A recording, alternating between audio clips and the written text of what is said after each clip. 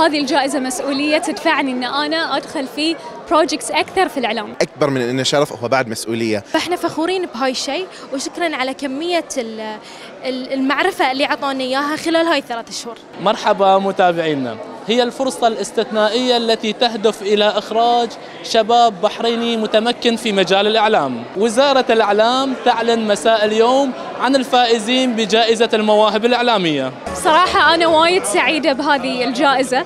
هذه الجائزة اليوم كأنها دافع لي أن أنا أواصل في مجال الإعلام وكأنها جواب حق آه، كل ال ال التساؤلات اللي كانت في مخي إذا أنا فعلا أحب هذا المجال وإذا أنا فعلا أقدر أعطي فيه هذه الجائزة بمثابة جواب حق كل هذه التساؤلات اللي دائما تواردني. والجائزة الأثمن وجود هاي الأطفال معاي في الحلقة. هذه الجائزة مسؤولية تدفعني أن أنا أدخل في بروجكتس أكثر في الإعلام. ولازم أن أنا أواصل في هذه آه، المجال وأحاول أن أنا أوفق بينه وبين الهندسة الكيميائية لأن عقلي مع الهندسة وقلبي مع الإعلام. طبعا في البداية شرف كبير بالنسبة لي إني أكون آه، يعني ال- الحائز على المركز الأول في المسار الإنجليزي من جائزة المواهب الإعلامية 2023 آه، بالنسبة لي شرف يعني كبير ومسؤولية أكبر من انه شرف هو بعد مسؤولية. إن إن نمثل إعلام البحرين آه، ونطور منه ونوصله.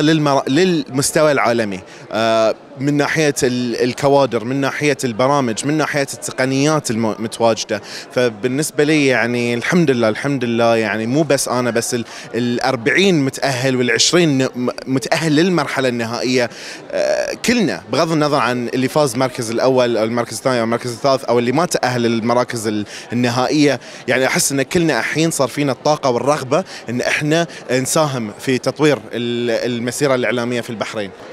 يعني الحقيقة إحنا اليوم موجودين هنا في ختام مسابقة المواهب الإعلامية، المسابقة الحقيقة اللي استمتعنا في آه، مجرياتها. آه، تم تسليط الضوء على مواهب جميلة جدا من فئة الشباب.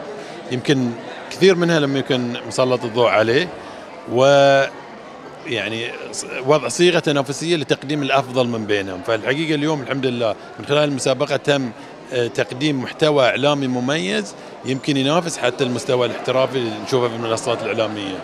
نشكر الحقيقة صندوق العمل تمكين على دعمهم برئاسة سيد سمو الشيخ عيسى بن سلمان والدعم الكبير اللي قدمونه لوزارة الإعلام، نتمنى أن المسابقات اللي تسلط الضوء على المواهب البحرينية بشكل عام في كل المجالات تزيد ويتم تسليط الضوء على هذه المواهب وأبرازهم لأن الحقيقة نشوفها هذه صيغة ناجحة في إبراز ال ال ال يعني ال- المكنون اللي موجود لدى لدى المجتمع البحريني من إبداع وثقافة. أول شيء فكرة برنامجي كانت هي فكرة جيلان.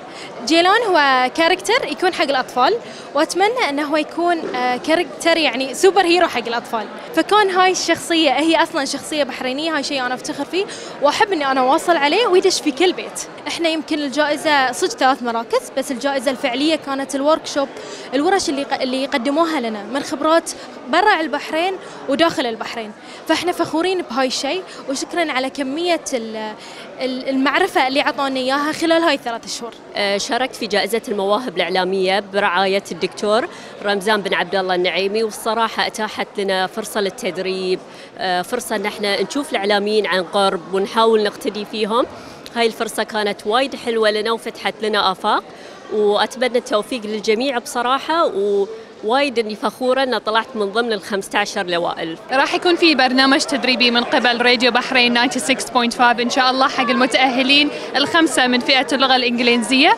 والبرنامج راح يكون مدته ثلاث شهور آه، برنامج تدريبي مدفوع من قبل الراديو وإحنا متحمسين وايد إن شاء الله إن إحنا نشوفهم موجودين معنا ونستفيد منهم وهم يستفيدون منا بعد.